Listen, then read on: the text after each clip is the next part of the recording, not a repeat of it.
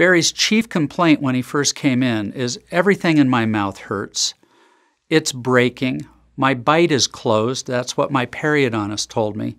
And my front teeth kind of look like they melted.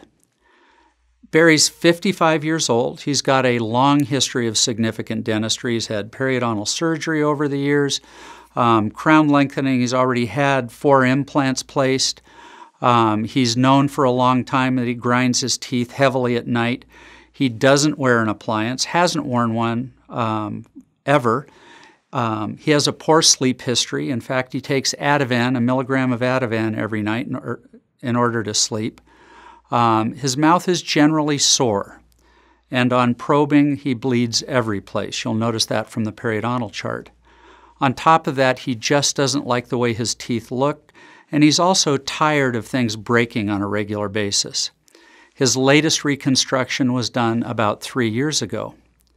So these are Barry's photographs. I don't have a good lips at rest image for those of you who are used to seeing that. This is the best that he was able to give me at the time I did these photographs. Lateral shots. Close up shots with teeth together and teeth apart. Notice the irregular occlusal plane. Buccal occluded shots. Notice tooth position here and also the generalized inflammation. These are some intraoral quadrant shots, and I put these in this presentation just to show you the breakage that has occurred throughout Barry's posterior teeth. These are uh, images of the models with the teeth apart.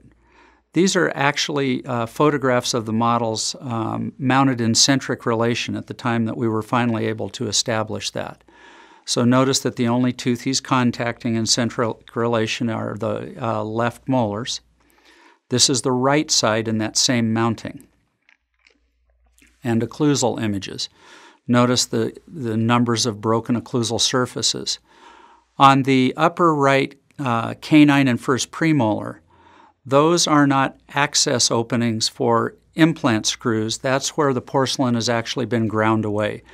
Much of it has been ground away by Barry, but much of it has also been ground away with multiple occlusal adjustments over the past three years.